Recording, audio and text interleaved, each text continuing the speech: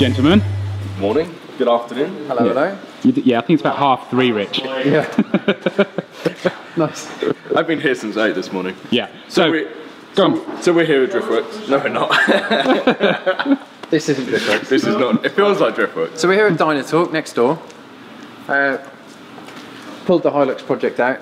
Try and So- make a bit more progress with it. So we showed you a few vlogs ago where we were just waffling around Driftworks whilst Phil was swanning off on his honeymoon. A quick look at what projects we've got going on at Driftworks. So we briefly showed you this car. Now we've actually got a deadline. How, how long we got? Seven weeks? Eight weeks? Um, Six Six weeks. Yeah. Until Until Drift Matsuri, which Yeah. is the end of October in sunny Anglesey. Yeah, yeah, yeah. So this is James's 1972 Toyota Hilux project. Fucking barely, barely registering that. It's fine, but we can put it up. Okay. You'll be surprised that is always like barely on, and then Al just does his loudness. Uniformity. Works his magic. Works Yeah. his magic. Okay. Yeah, So, what is it? It was a 1972 Hilux, if I said that. Of course, obviously. 1972 rear wheel drive Hilux. Most people know the Hilux is a big 4x4 thing, but this is old school. Why did you buy? I, this is we like doing crazy things. Why this car? Why we bought a 1972 Hilux? Mainly, I wanted a pickup. I want something I can chuck a few bikes in the back of, something we can have a bit of fun with, something a bit different. And this cropped up on eBay. A collector had bought it, shipped it over from South Africa, and then decided it wasn't quite mint enough for him. So put it up on eBay. And then you've Snapped it up. yeah, and then completely changed it and unminted it for now. Yeah. Well, So- the, the more we looked at it, the more it was obvious that the brakes and suspension and the engine and drivetrain wasn't quite up to things, and that modifying that to any standard was going to be quite difficult. So what we've done is chopped all the drivetrain, all the suspension, all the engine, everything underneath out, and replaced it with kit from an MX-5. We basically dun dun dun. basically reshelled an MX-5 into a Hilux. Yeah, Toyota purist heaven. We're good at that already, though. With I mean, the 86, exactly. aren't we? We, you're saying that, we did actually look to try and find um, a Beams engine out of the Altezza, didn't we? Because Yeah. That was going to be the other option. Try and keep it Toyota, put a Beams engine in, and but they are like rocking horse poo. Yeah. So none around. And then the MX-5 seemed to actually tick almost all of the boxes that you wanted to do. Yeah, wanted a bit more power. We're looking for something kind of 200s, thereabouts horsepower. Um, You wouldn't get that out of the NA MX-5. obviously not straightforward from a standard MX-5. Well, let's let's show what we've got then. Where, this is obviously there's been a lot of work done to this already, but just give us a quick rundown of what we have in the engine bay here. So this is the later VVT engine out of the Mark II MX-5. 2.5? Yeah, the Mark 2.5, 1800. Um, but with this, we've got a Subaru TD04 Turbo. Really nice manifolds. That's the G19 manifold kit. That's come as a complete kit with the manifold, the downpipe, uh, all the oil feeds and, and coolant feeds and such. So that's pretty much a bolt-on kit. Uh, we've got an ECU from Motorsport Engineering, which again should be fairly plug and play, standard MX-5 loom. And that, that comes with a almost a base map already installed, doesn't it? So Yeah. you, we can do the run in on that, so it's not going to have to be mapped straight away. So we can do the run in on that and then take it down to them, I guess, to get mapped properly, Yeah. which is which is cool. All off the shelf, which is what has amazed me during this whole build. Other than this part of it, all the but all of the turbo kit for the MX-5. If you had an MX-5, is- you can just have it all yeah, straight away. brilliant option. So there's that. Then you've got a Duranza radiator. Um, and then where was this from? It's just cheap, just from? cheap eBay stuff. So it's a it's a Land Rover Discovery radiator and a universal intercooler. Tried to keep the pipework as simple as possible. Yeah, so you're gonna have a real short um, turbo to intercooler pipe up there, aren't you? Yeah. Which is which is cool. Um, Craig has made this spacer for you. What? Where was this from? Point to that again because the camera wasn't looking. This This spacer here for a what? Now what's that, Rich? I'd Ma- like it's to a know. master brake cylinder. Oh, is it? I don't know. What's in front of it? brake master cylinder. Master, master brake. okay. Yeah, so that's off a Nissan. oh, it's not a Micra, but it's something A slightly mirror or something, something, Yeah, something like that. just something modern and, and reliable. and then Craig has made the inlet as well. Craig and Ross has done that, haven't they? Yeah, we've had to chop the bulkhead quite a bit to get the engine in, um, and the standard inlet manifold just wasn't going to fit. So this way, we've got the standard throttle body and all the standard uh, sensors and such, but mated up to a custom manifold. Yeah. So still waiting on the um, the cable for this. Yeah, that's going to need a custom one, but Yep. we'll do that once we know what pedals we're using and stuff. Excellent.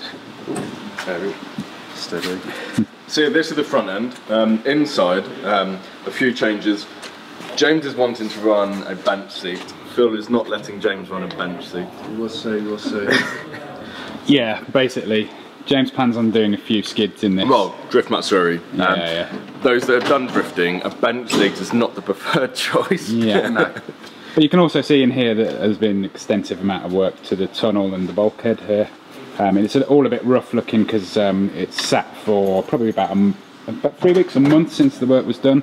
Uh, this will all be stripped back properly and painted once we've um, finished all the fabrication. So, um, Dynotorque's echoey in here. Oh, is it? So, Dynotorque and Craig have, no, Dynotorque and Ross, Hang on. No, no, That's no. Ross. that's Ross, too many people. Yeah. Um, so, this was originally a column shift. Um, so, the steering wheel was here and the shifter was here. So, of course, with it being an MX5 running gear now, we've had to make a gearbox tunnel. Yeah. Um, and so, the gear, where's the gear stick coming up from? Um, at the moment, if you was a third passenger, it'd be right in your. Um, Bumhole. Yeah, Somewhere around about it there. comes through about here. So um, me and Chris down at Talk are going to make a bit of a linkage to get it actually quite further forward, so it's usable. Yeah. Um, It's a small cab though, isn't it? yeah. Like Yeah, I don't think is. I'd fit in fit in that. Oh, I fit in um, this. You should, yeah. You're a midget. So anyway, so again with all the MX5 stuff, um, we've taken the steering wheel and, and the column and everything else off the MX5. Is that right? Yep. Yeah, yeah. So and then uh, the dash has been flocked, which is a nice little touch. So when the S So is that being done by Ross? Uh, Alan at Flocking, fantastic. Excellent, good plug. so when we got you, the S, so when we got the F, S15 dash flocked, we did a swap around and, and got all that done. Yeah. Um, are you keeping what what you're doing for dials? I want to keep the standard dials. I need to work out how to interface them with the the MX5 loom. Yeah. Oh, of course you. Got a bit of Yeah. work to do there, but it should all be fairly straightforward. And then you're trying to have a, a, a retro-looking stereo, aren't you? You don't want it like a nice modern double din, do you? No, no, I just want to keep everything simple and old school. So Switches and knobs and whistles. yeah, yeah, yeah. So that's the plan here. That so we're trying. So what the issue is at the moment, as you can see, seating style is here, and James is. Are you taller than me? Yeah, probably a little. So James bit. is taller than me. I'm five foot ten on a good day, and With his heels on. there's not yeah with my heels on. There's not much space. No, especially if you need a harness and that's Well, going to that, be the real. that, that's what we were discussing this morning. With a bucket seat in and a harness, you're going to be quite limited on what, what you can do. I think we need to make an external harness bar, but we shall work through that. So that so that is one of the jobs that is going to be done ready for Matsuri. I'm going to get out of this. Yeah. We're about to run out of battery, so whatever you're going to do, do it quickly. So here is the booty. Here is the boot. That's the boat. Fuel tank. OBP have just made us a custom fuel tank. Again, I wanted to keep stuff as simple as possible, but because it's going to be tracked and drifted, uh, needed something a bit more special. So that's a, a sumped tank, but also foam filled. And then we're going to be running um, an external Walbro. Is this a 044? Can we just show everybody what you've just said? That's a fuel filter, Rich. Thank fuck you don't work on cars. Jesus Christ. so what's that, Rich? It's a fuel Power pump. steering pump. No, I said not. that's an external Walbro fuel It's an external. Have I just been trolled now massively? Oh, look at this sad face. How embarrassing. Yeah, so we've got that all to fit next. Why have you Work got out an external for this? Just keep it simple again, like simple tank, simple pump system. Is this going to be mounted under the under the bed though? Yeah, uh, that'll mount on the chassis rail Oh, okay. with the pressure regulator, try and keep it all in place. So just a single line to the front, run a deadhead system. Cool. Yeah. I don't know what that head system means. Um, but the joys of this being an MX-5, um, we, we've got the diff, which you um, is that a plated diff? So that's a Torsen diff. Okay. Which would be fine for drifting. Yeah, yeah, that's It's really good. But we're also running MX-5 subframes, front and rear. So we've got the MX-5 brakes, um, 4x100 PCD now as well. The issue is it's widened the track slightly over the Hilux. So these are a 15 by 7 and a half plus 35. Seven plus 35. So 15 by 7 plus 35 and it's tight. Yeah. And that's already had a little bit of fettling, hasn't it? So Yep. Yeah. So the next plan, we've got some work wheels on the way, some new Equip 40s, um, and they're 7 plus 33, so even slightly wider than this. So we're going to have to do more archwork um, to get that sitting right. Yeah. yeah, and make sure that it still sort of keeps the lines Yeah. the, the car correct. Definitely. Yeah. Um, well, we need to get it up on the ramp anyway. 'cause that's what it's round here for. So let's have a look underneath. That's, Let's just talk about. that's a real. You're a plonker. Well, what have I done? Three batteries and none of them are charged, so we better be quick. So um, one of the issues with this being a vehicle from the 1970s is the heating is not up to modern day standard. No. No, it came from South Africa. It's not the issue. It- it Heating South is Africa. not an issue there. There is no heater supplied with this vehicle. It didn't come with one. No That's door issue. sills, no heaters. You don't need it. Do you not? No. I've never been to South Africa. It's warm there. So this is a potential solution, which is a standalone heater system uh, from an equally as old Nissan, almost. An old school So this might be going in. Um, Going in. Anyway. I digress.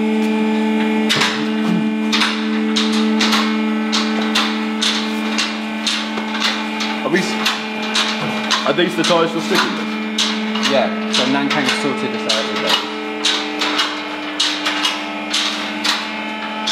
Okay. It's wonderful. Fuck me. If you want.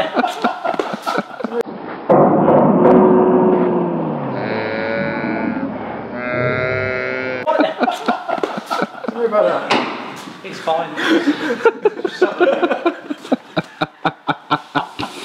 Oh, you're right, do you need some new trousers? Did you think that was going to fall on your head?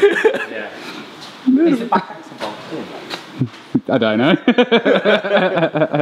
yeah, we've just lifted it up on the ramp, but you know, is it is it in any way safe at all? It appears to be. Do um, you want to get out from underneath it? I did very quickly. I just whether the back subframe's actually bolted on properly. Yeah, it is because it's bolted. Yeah, yeah, it's bolted. yeah, it just it just had a little um a little moment. I had a little moment, sure. Basically, when- when we put it in, we, we put this new box section in so we could bolt the MX5 subframe in into captives in here. Oh yeah, So it bolts in up into the floor as it would per normal MX5. yeah. So this is a good, time to show it. So Craig and the guys here have, because we put MX-5 suspension on a car that had a um, leaf spring setup on the rear. Is that right? It's Live axle. Yeah. Live axle, Yeah. but it, it did it also springs, with yeah. leaf springs. Yeah. So we've changed it to an MX-5 with double wishbone. So Craig's had to manufacture and- and get these wonderful plates made to make make the HSD coilovers fit. So this has all been fabricated by hand and welded to the new box Yeah, section. again, it's un, in its unfinished state. We Yeah. plan on um, testing this and then doing uh, a full breakdown and Yeah. paint and um, powder coat. Yeah, yeah, yeah. This all looks horrible at the moment. This is all very much test fit stage. Although it looks like it's nearly done. Once a few more jobs are done, the next stage is to just tear it all apart again and so let's send it off for paint. Yep. Yeah, painted. As, as with some projects which we've seen, painting it before you do any fabrication, and it just seems like a completely backwards way of doing it. Um, so this is the power brace, power, Power bar, frame. power frame, which is um, on a normal MX-5, but because this is longer, um, they've had to put two together and extend it slightly. So the chop is here, and this just um, on an MX-5 because it's convertible. It's a lot of um, chassis flex. So again, going to be a similar issue with this. So they've utilised again the MX-5 power brace. Why are you shaking your head? That's not why it's there. Why is it? I thought that was what it was for. No, the, the MX5 is and same as an RX7. They don't run a gearbox mount. basically the, the, the gearbox and diff is together, so it's like it's almost like a transaxle. But surely it helps with chassis No, flex. it's all with mounted. So that's not why it's there. It's an education. Yeah. being- Well, I always thought it was there. Yeah. so ba- basically, we lengthen that, we're going to obviously lengthen the prop so it stays MX5 setup, so it should work Yeah. as it does. in- basic it's an MX5 underneath, Yeah. so which works very hmm. well. That's temporary, just to support the box, and everything where we wanted it. So is the um, fuel tank going above our heads here? Yeah, it'll fit in that, that space here, fuel tank here, exhaust here. Obviously, props are coming, but then there's not that much else going on back here. Maybe a spare wheel underneath, but A clean. Clean, all powder coated and everything else. Yeah, it's going to have some new uh, bushes put in and everything, isn't it? yes, Power I'll Flex, load of Powerflex bushes yes. to go on it. bar. Yeah. Driftworks, one of the biggest dealers of Powerflex. The front, that's the So yeah, so this this is all the rear, but the front again, MX-5 subframe. switch all the tons. Yeah, the front MX-5 subframe again heavily modified to make it fit the Hilux chassis. Yeah. And again, um, HSD coilovers have been fitted, so more top mounts have been made. Um, it's a bit of a difficult one with this because it's got the massive tubs from the from the OEM setup. Um, we quite haven't. How are we going to adjust them? Or how are the top mounts on the plates? The top mounts, yeah, the existing Hilux had the, the top mounts for suspension as part of the cross member. So what we've had to do is replicate that. Craig's had some custom parts laser cut. So we've recreated the cross member top mounts so the mm-hmm. coilovers have got somewhere to mount to. But the point is that we do these few bits of custom work, but it means that everything else is then standard kit. So again, all standard MX5 stuff, standard MX5 rack, brakes, coilovers, bushes, everything's available off the shelf once the custom work's done properly. Awesome. That's So- the plan. So what is it here for then? Obviously getting the fuel system done and installed. Exhaust, prop. dry- dry build. But if we, if we can get it um, on its wheels running, fuel system done, oil system done, so we can start it, turn the key, get you know water system finished. Um, Burnout done. Yeah. burnout done, yeah. Um, get the pedal sorted, clutch it, make sure everything works and drives, and then literally try and have a little drive around the estate. Um, break a few windows as, as you do, Phil. No, we do not do that. That's not me. Then, then if it works, well, when it works, strip it, powder coat it, tidy it up. Next week then? Yeah, something like that. Okay, see you next week then. See you next week. So if you want to see more about this project and see how it evolved from the MX-5 and the Hilux to mate together, Do go on. my voice is slowly going. Is there somewhere people can visit on the internet? Yes, check out the Driftworks forum and check out the Hilux build thread. We'll put up little URLs here. And there you go, check it out to see the early updates from, from when we first got it. Very good.